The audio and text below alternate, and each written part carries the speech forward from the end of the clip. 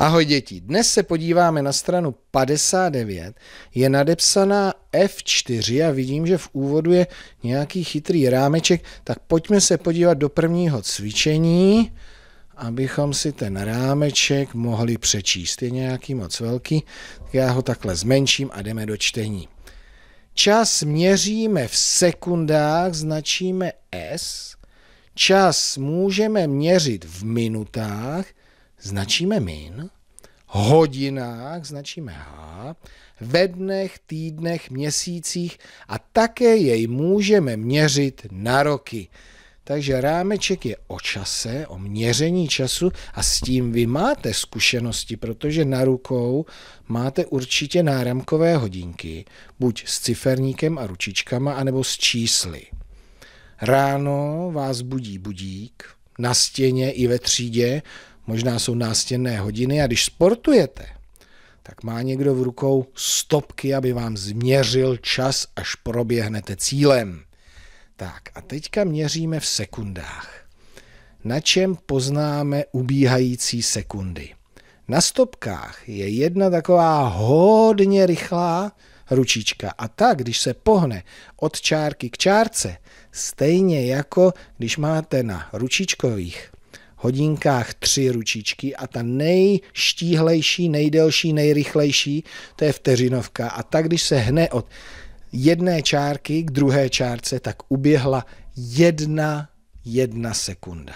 No a když tahle ta hodně rychlá ručička oběhne takhle ten ciferník dokola, tak uběhla jedna minuta a to se ta větší ručička hnula také od jedné čárky ke druhé. To uběhla jedna minuta. No a když tahle ta velká ručička taky obejde celý takhle ciferník, tak se malá ručička hne od čísla číslu a to uběhla jedna hodina. Ale o tom se určitě ještě něco dál dozvíte, takže tohle je základní informace o měření času. Budeme si pamatovat, že sekundy značíme S, minuty min a hodiny H. Tak, to se nám určitě bude hodit.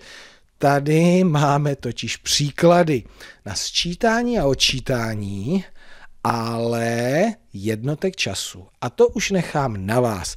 Takže prosím vás, přerušte video, vypočítejte, pěkně říkejte i ty jednotky, no a za chvíli si porovnáme řešení.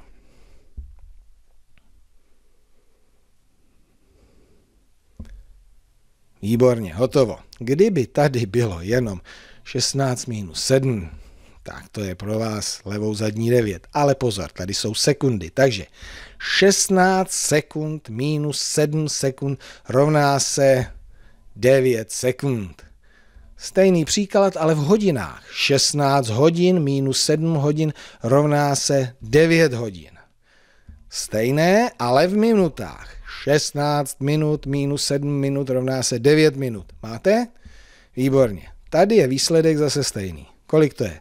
12. Ale když to čteme, tak musíme číst ty sekundy. 4 sekundy plus 8 sekund rovná se 12 sekund.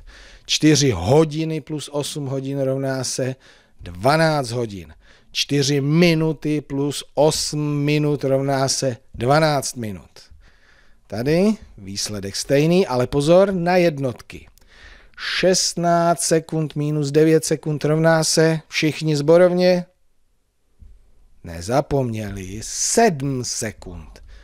Výsledek 7 hodin, výsledek 7 minut. Kontrola, svítíme zeleně, takže to máme všechno správně. Seznámili jsme se se sekundami, minutami a hodinami.